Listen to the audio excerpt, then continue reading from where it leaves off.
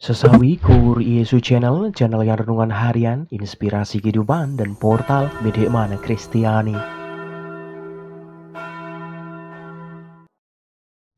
Damai sejahtera beserta kita, semoga sahabat-sahabatku yang terkasih sungguh selalu beroleh rahmat sukacita, berkat yang melimpah serta perlindungan dari Tuhan.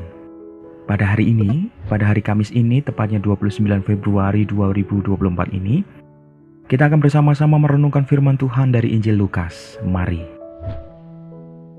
Tuhan beserta kita sekarang dan selama-lamanya. Inilah Injil suci menurut Lukas, dimuliakanlah Tuhan.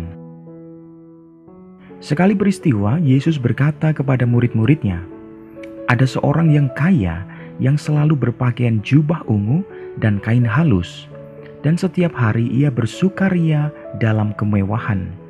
Ada pula seorang pengemis bernama Lazarus, badannya penuh dengan borok, berbaring dekat pintu rumah orang kaya itu, dan ingin menghilangkan laparnya dengan apa yang jatuh dari meja orang kaya itu. Malahan, anjing-anjing datang dan menjilat boroknya. Kemudian matilah orang miskin itu, lalu dibawa oleh malaikat-malaikat ke pangkuan Abraham. Orang kaya itu juga mati, lalu dikubur. Sementara ia menderita sengsara di alam maut, ia memandang ke atas dan dari jauh dilihatnya Abraham dan Lazarus duduk di pangkuannya.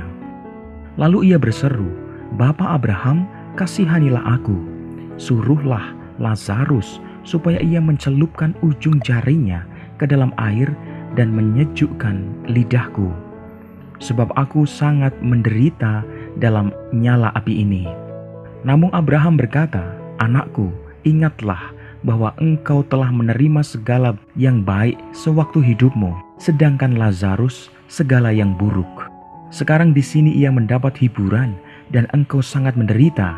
Selain itu, di antara kami dan kamu terbentang jurang yang tak terseberangi, supaya mereka yang mau pergi dari sini kepadamu ataupun mereka yang mau datang dari situ kepada kami tidak dapat menyeberang. Demikianlah sabda Tuhan, terpujilah Kristus.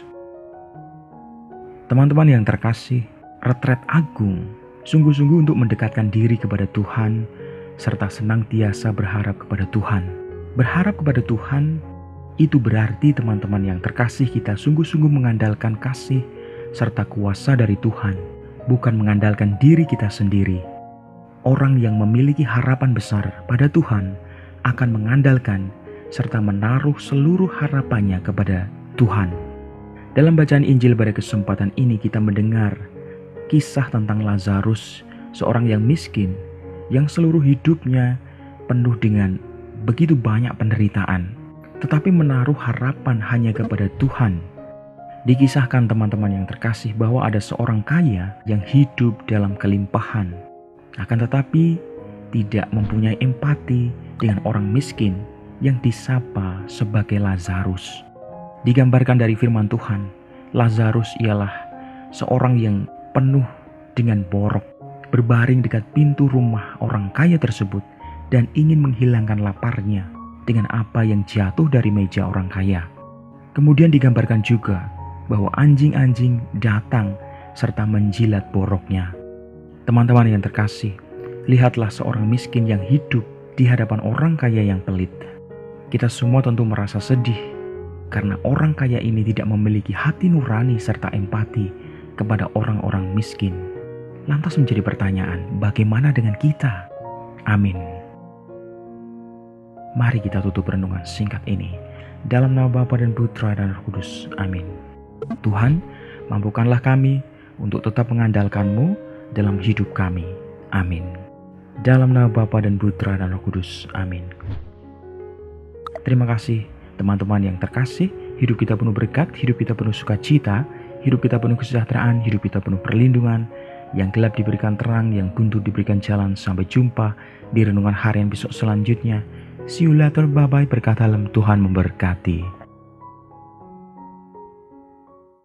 Terima kasih udah nonton. Jangan lupa subscribe, like, nyalakan notifikasinya, dan share ya.